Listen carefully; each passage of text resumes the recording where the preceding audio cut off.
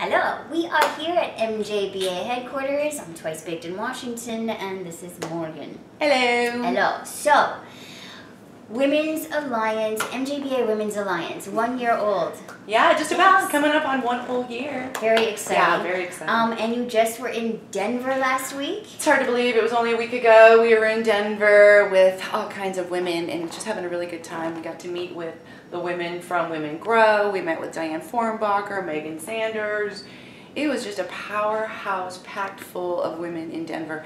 And, and Susan Squibb was there too. She was fantastic. It was- Awesome. Bethany Moore from NCIA. It was just a great freaking time in Denver. I love Denver. It was so much fun. Let's do it again. awesome. Um, so, that was six days ago. Six days from now. it just keeps on moving. It just keeps on moving.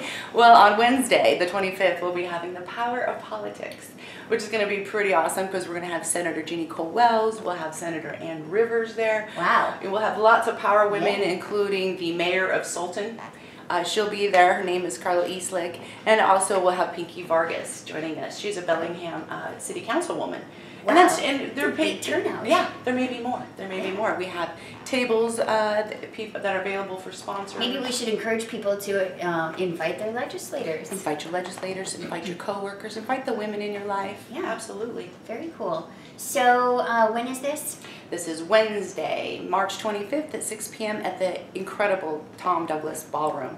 Uh, the Palace Ballrooms is exquisite. In Seattle. In Seattle, Yeah. the food is amazing. Of course, it's Oh. the best food ever. Yeah. So I I'm mean, ready. Yeah, yeah, it's going to be pretty awesome. Very nice. And people can get tickets where?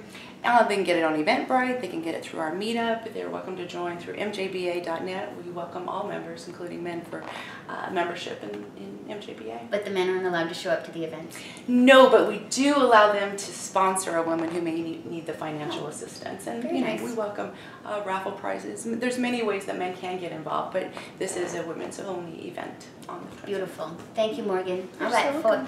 MJ News Network, we'll see you next time. Thank you.